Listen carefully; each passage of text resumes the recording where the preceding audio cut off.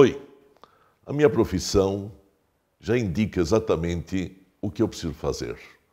Professor de Bar Mitzvah tem que ensinar para os alunos a nossa história, nossa cultura, nossos costumes, nossas leis, ensinar trechos da Torá em orações, as nossas rezas, tanto da manhã, da tarde, da noite.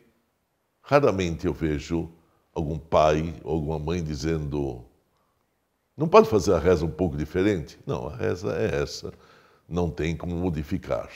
Posso acrescentar alguma reza? Bom, poder pode. E vários pais já me disseram, eu já li muitas vezes o Sidur e eu queria acrescentar alguma coisa. E tem pais criativos que escrevem textos fantásticos. Não pode pôr isso em vez da oração tradicional? Não. E pode pôr no meio?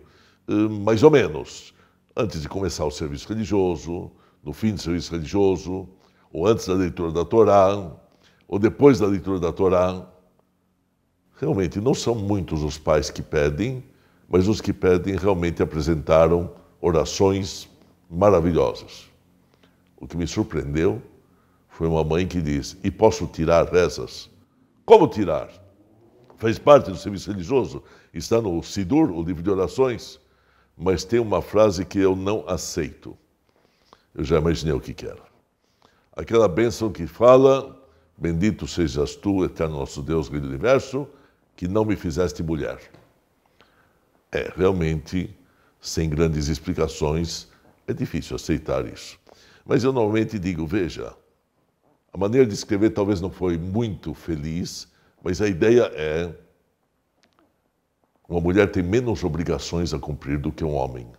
Então os rabinos dizem, então ela pode nesse meio tempo colocar muitas coisas que não deve na cabeça. Então eu prefiro não ser mulher, assim eu não vou pôr nada de errado na minha cabeça. Será que elas gostam da explicação? Esta é a explicação. Mas, posso tirar essa frase? Bom, como não era um serviço ortodoxo, eu mostrei que tem livros de oração que não tem. Shelo Asanisha, que não me fizesse mulher.